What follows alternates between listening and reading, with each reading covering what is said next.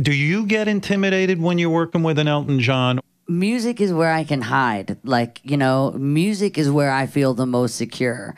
That's why my voice holds a lot of value to myself and to other people. And um, I've had to kind of work on my relationship with that and find other things that I love about myself too, because, you know, you look at other athletes or their whole careers are built on these big muscles, you know, and it's like, I've got these two little tiny cords and everything is balanced on top of these little, whenever you get scoped and you actually see it, it's really crazy when you see how much force and pressure, you know, everything, my stability in my life is balanced on these tiny little cords. And when you look at these other athletes, which is what I consider myself to really be, and that's why it's just so important that now I've been really training because I, I I learned what happens when you don't train, um, and it's just really important to to take care of these you know things that that is the reason why all of us here have something to do today. So it's just it's a lot of pressure.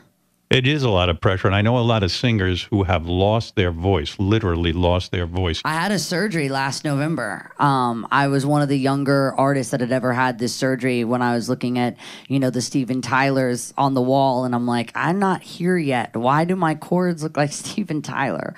And like, I, you know, I'm looking and I'm like thinking about the longevity and sustainability that he's had. And then i'm looking at myself. I'm t- i was 26 and i'm still i'm getting this surgery that six year old touring artists are getting. But i'm feeling really good and i've done the rehabilitation that it takes. So i never want to do that again. So, in taking assessment of your vocal cords and your career and having this understanding, is that why you became sober? That you said, if I drink, I'm fucking my voice up, I'm Yeah. making bad decisions. How hard was it for you to get sober?